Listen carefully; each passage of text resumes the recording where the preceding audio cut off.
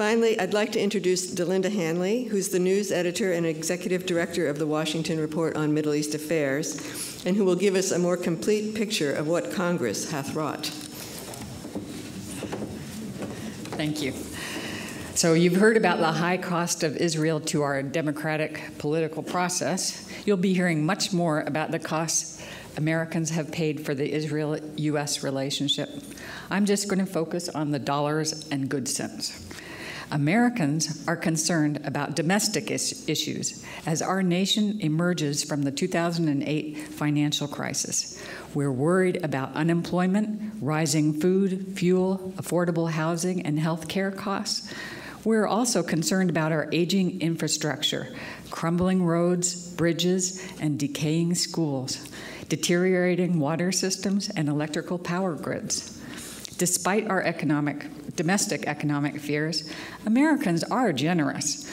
Many of us believe we should help the poor, not just here at home, where we have nearly 50 million Americans living in poverty. We also want to give food and medical assistance to help the hungry and vulnerable, especially children, survive conflicts and crises in the developing world. Most Americans would be surprised to see how little foreign aid our country actually gives as a percentage of our gross domestic product when compared with other nations. Foreign aid is only 1% of our federal budget. But in tough economic times like those we are facing today, foreign aid is sometimes considered to be low hanging fruit, easy to cut, because it does not directly benefit Americans and we are cutting back on aid compared to previous de- decades. I challenge American tax- taxpayers to look a lot more closely at who gets 3.1 billion of US foreign aid dollars every year. Do you know that more than 5% of our foreign aid is subsidizing one of the top 10 most powerful nations in the world? Israel, with a population of nearly 8 million people, about the same number of people who live in Hong Kong or New Jersey, is the largest recipient of U.S. foreign aid. And that has been the case for more than a generation. 16 years ago, my dad, Richard Curtiss, wrote an article called True Lies About U.S. Aid to Israel for the Washington Report. It could have been written today. Most aid recipients, he said, are de- developing nations, which either make their military bases available to the U.S. or have suffered some crippling blow to their abilities to feed their people, he said. Israel, whose troubles arise solely from its unwillingness to give back land it seized in the 1967 war in return for peace with its neighbors, does not fit those criteria. Israel tries to give Americans the impression that they are in grave danger. They face annihilation. Their urgent appeals bring in significant charitable contributions, both from well meaning evangelical Christians and American Jews. Soft hearted Americans send U.S. tax deductible donations to 27,000 nonprofit organizations in order to help the needy, including Jewish immigrants and Israeli soldiers who knew that we could get a tax write off by sending pizzas and sodas to um, Israeli soldiers in tanks and at checkpoints? Birthright Israel sends 37,000 young Jewish people on free 10 day trips to Israel each year. Wealthy Americans donate 660 million a year for these trips, and the students are not permitted to travel to the West Bank, Gaza, or East Jerusalem. Does Israel really need our handouts?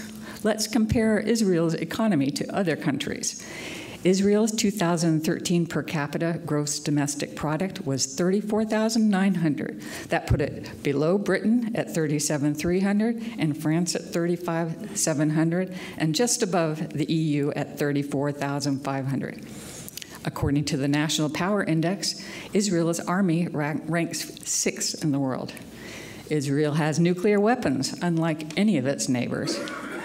Israel ranks fourth in technological capacity and is among the world's leaders in science. According to Haaretz, Israel's unemployment rate is 6.2%, while America's is 7%, and Europe's average unemployment is 12%. Israel ranks 15 on the UN Development Index, illustrating the high quality of life for Jews living in Israel. Israelis can expect to live until they're 81.8, and Americans' life expectancy is 78.6. Israel's state funded health care is ranked fourth in the world, and the U.S. is in the bottom of Bloomberg's list of 48 countries.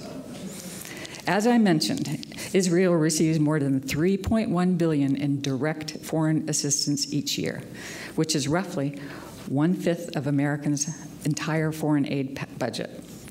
U.S. Secretary of Defense Chuck Hagel recently promised that this aid would not be reduced, even while he listed significant cuts to America's defense budget.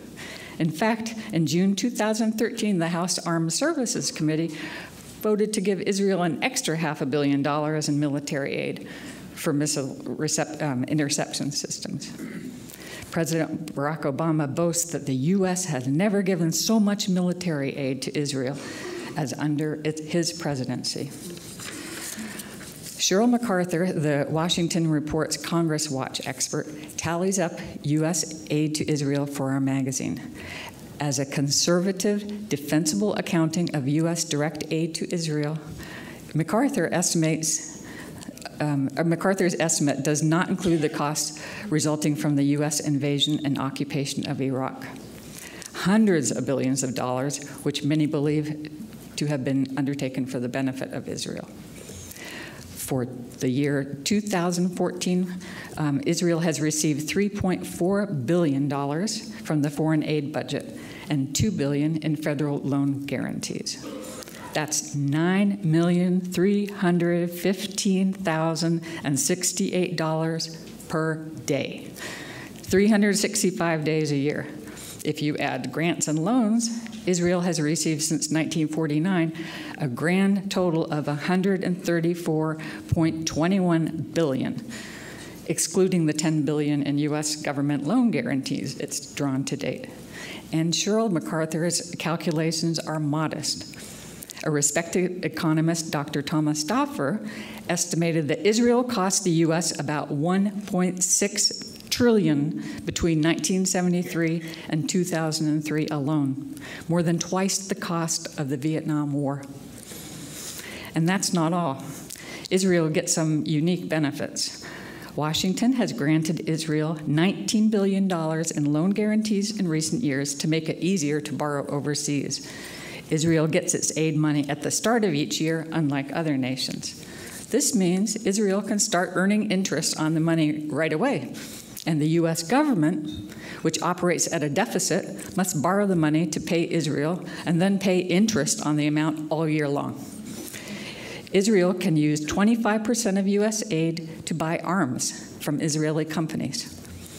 Congressional legislation requires us to maintain Israel's qualitative military edge that means anytime another country in the Middle East buys U.S. arms, we have to make sure Israel gets better weapons. We regularly transfer surplus military equipment to Israel. Israel is now storing equipment worth more than $1.2 billion. Well, America also gives 1.5 billion to Egypt's 85 million people. Well, actually, most of that goes directly to Egypt's military for meeting its obligations under the 1979 Egypt Israel Peace Treaty. Jordan, six and a half million people, gets 660 million a year for keeping peace with their neighbor. Add to Aid to Israel is a subject that rarely makes it into the mainstream media. We were stunned when Walter Pincus, who reports on intelligence, defense, and foreign policy for the Washington Post, tackled this normally unmentionable subject. Days after Israel's cabinet cut nearly 2 million from Israel's own defense budget, on October 18, 2011, Pincus pointed out if Israel can reduce its defense spending because of domestic economic problems? Shouldn't the United States, which must cut military costs because of its major budget deficit, consider reducing its aid to Israel? I'd like to conclude by stating the obvious. The U.S. President and Congress give aid to Israel for domestic reasons, in order to please Jewish and evangelical Christian voters who are often more pro Israeli than Israelis. It is mind boggling that when it comes to Israel, U.S. taxpayers' largesse has no preconditions. Israel has a green light to use American tax revenue for military operations, which destroy Palestinian or Lebanese uh, roads, water tanks, sewage lines, electrical power plants, and police stations, not to mention shops, homes, schools, orchards, and lives. Sometimes Israel demolishes projects like parks, playgrounds, ports, and other vital infrastructure paid for by American taxpayers and donors.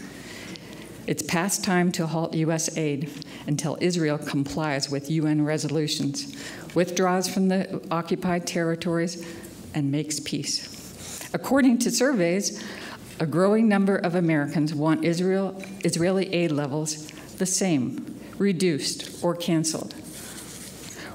With the prospect of prolonged fiscal austerity in the United States, overall American public support for foreign aid may diminish in the years ahead. Economic conditions in the United States should affect future aid to Israel. Cutting off aid to Israel is the logical and economical and ethical thing for Americans to do. Thank you.